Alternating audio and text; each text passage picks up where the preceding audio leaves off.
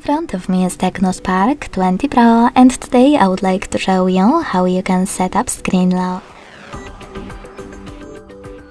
You need to begin by opening settings and scrolling down to access password and security. Then click on lock screen passwords at the top and pick the perfect login method pattern numeric password or alphanumeric password.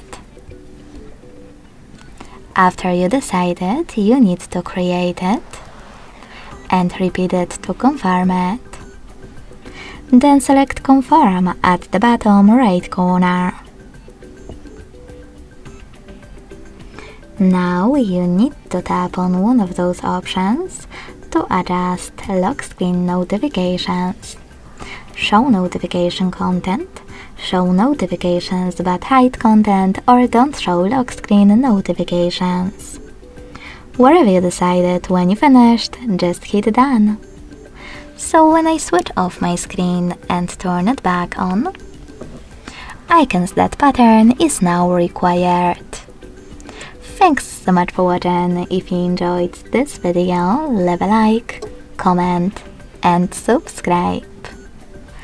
Bye!